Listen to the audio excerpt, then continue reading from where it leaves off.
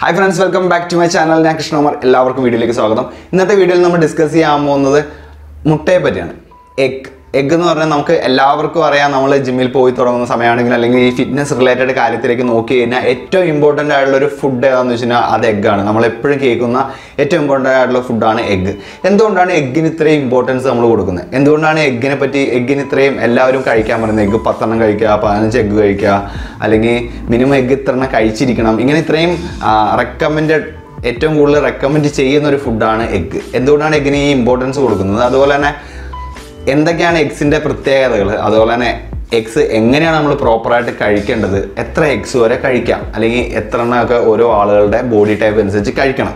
ഇതിനെപ്പറ്റിയാണ് ഇന്നത്തെ വീഡിയോ നമ്മൾ ഡിസ്കസ് ചെയ്യാൻ പോകുന്നത്. അപ്പോൾ വീഡിയോയിലേക്ക് കടക്കുന്നതിന് മുമ്പായിട്ട് നിങ്ങൾ സബ്സ്ക്രൈബ് ചെയ്തില്ലെങ്കിൽ ഉറപ്പായിട്ട് ആ സബ്സ്ക്രൈബ് ബട്ടൺ ക്ലിക്ക് ചെയ്യുക. അതുപോലെ തന്നെ ആ ബെല്ലൈക്കൺ കൂടി എനേബിൾ ചെയ്യുകയാണെന്നുണ്ടെങ്കിൽ നിങ്ങൾക്ക് അടുത്ത വീഡിയോ ഇടുമ്പോൾ തന്നെ നോട്ടിഫിക്കേഷൻ കിട്ടുന്നതായിരിക്കും.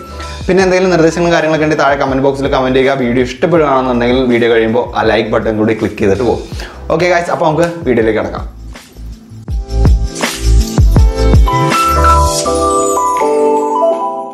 ഫ്രണ്ട്സ് എന്തുകൊണ്ടാണ് എഗ്ഗ് ഇത്ര ഇമ്പോർട്ടന്റ് എന്തുകൊണ്ടാണ് എഗ്ഗിന് നമ്മൾ ഇത്രയും ഇമ്പോർട്ടൻസ് കൊടുക്കുന്നത്? നമുക്കൊരു ബോഡി ബിൽഡിംഗ് വ്യൂ പോയിന്റ് നോക്കുവാണെങ്കിൽ എന്തുകൊണ്ടാണ് ബോഡി ബിൽഡേഴ്സ് അല്ലെങ്കിൽ മസിൽ ഗെയിൻ ചെയ്യുക അല്ലെങ്കിൽ വെയിറ്റ് ഗെയിൻ ചെയ്യുക ആ ഒരു കൺസിഡറേഷനിലേക്ക് നോക്കുമ്പോൾ ഏറ്റവും കൂടുതൽ എഗ്ഗ് കൺസിഡർ ചെയ്യുന്നത്?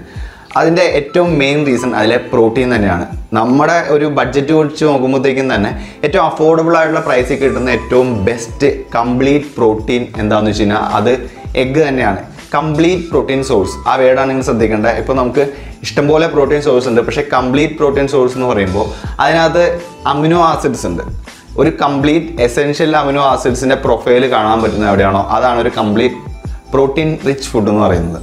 അപ്പോൾ അമിനോ ആസിഡ്സ് അമിനോ ആസിഡ്സ് എന്താണെന്ന് അറിയില്ലാത്തവർക്ക് ഞാൻ പറയാം. പ്രോട്ടീൻ എന്തുകൊണ്ടാണോ ബിൽഡ് ചെയ്തേക്കുന്നത് അതായത് പ്രോട്ടീൻ ബിൽഡ് ചെയ്തിരിക്കുന്നത് അമിനോ ആസിഡ്സ് കൊണ്ടാണ്. അപ്പോൾ അങ്ങനെ നോക്കുമ്പോൾ നമുക്ക് മെയിനായിട്ട് നമ്മുടെ ബോഡിക്ക് പല അമിനോ ആസിഡ്സ് ആവശ്യമാണ്. അതിനകത്ത് ഏറ്റവും എസെൻഷ്യൽ ആയിട്ടുള്ള അമിനോ ആസിഡ്സ് ഉണ്ട്. ആ അമിനോ ആസിഡ്സിന്റെ ഒരു കംപ്ലീറ്റ് പ്രൊഫൈൽ കാണാൻ പറ്റുന്ന ഒരു ഫുഡ് ഐറ്റമാണ് എഗ്സ് ഇപ്പോൾ ഇൻകംപ്ലീറ്റ് ആയിട്ടുള്ള കുറേ ഉണ്ട്. റൈസ് പ്രോട്ടീനിലേക്ക് നോക്കുമ്പോഴത്തേക്കും ഇൻകംപ്ലീറ്റ് ആണ്. അതുപോലെ തന്നെ നമ്മുടെ ഗ്രീൻ പീസ് അങ്ങനെയുള്ള കാര്യങ്ങളിലുള്ള പ്രോട്ടീനൊക്കെ ഇൻകംപ്ലീറ്റ് ആണ്. എപ്പോഴും ഒരു കംപ്ലീറ്റ് പ്രോട്ടീൻ സോഴ്സ് എന്ന് പറഞ്ഞു കഴിഞ്ഞാൽ അതിൽ ഒരു മെയിൻ ആയിട്ടുള്ള ഐറ്റമാണ് എഗ്സ് ഈ എഗ്സിന്റെ ബാക്കിയുള്ള കാര്യങ്ങളിലേക്ക് നോക്കുകയാണെങ്കിൽ ഇതിനകത്ത് ഫാറ്റ് ഉണ്ട് പ്രോട്ടീൻ ഉണ്ട് വൈറ്റമിൻസ് ഉണ്ട് മിനറൽസ് ഉണ്ട്.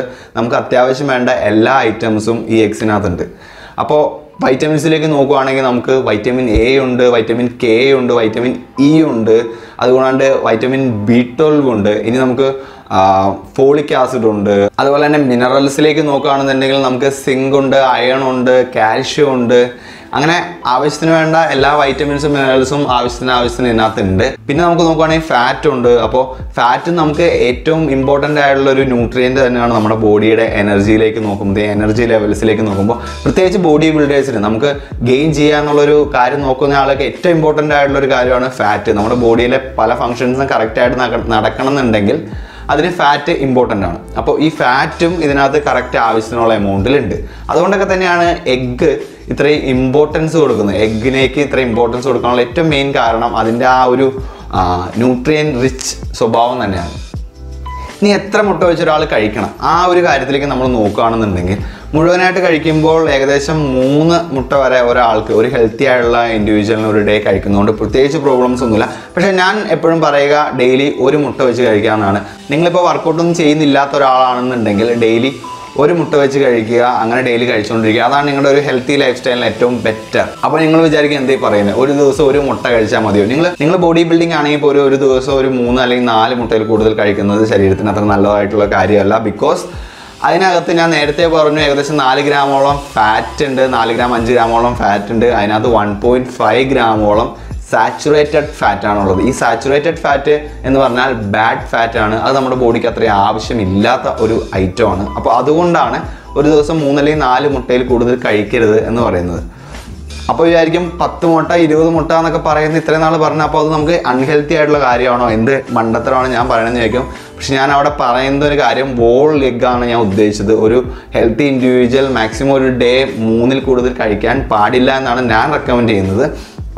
ഇനിയിപ്പോൾ നിങ്ങൾക്ക് ചോദിച്ച ചോദ്യത്തിനുള്ള ഉത്തരം ഞാൻ പറയാം. നിങ്ങൾ നമുക്ക് തോന്നുന്ന ഏറ്റവും മെയിൻ ആയിട്ടുള്ള ഒരു കാര്യമാണ്. അപ്പോൾ പത്തും ഇരുപതും മുട്ട വെച്ച് കഴിക്കണം അല്ലെങ്കിൽ പറയുന്നത് എന്തുകൊണ്ടാണെന്ന് ചോദിച്ചു കഴിഞ്ഞാൽ അവിടെ നമ്മൾ എഗ് വൈറ്റ് മാത്രമാണ് കൺസിഡർ ചെയ്യുന്നത്. അപ്പോൾ എഗ് വൈറ്റ്സ് മാത്രമാണ്. പത്ത് അല്ലെങ്കിൽ പതിനഞ്ച് അല്ലെങ്കിൽ ഇരുപത് എഗ് വൈറ്റ്സ് മാത്രമാണ് നമ്മൾ ബോഡി ബിൽഡിംഗ് എന്നൊരു കൺസെപ്റ്റിലേക്ക് നോക്കുമ്പോഴത്തേക്കും നമ്മൾ മെയിനായിട്ട് നോക്കുന്നത്.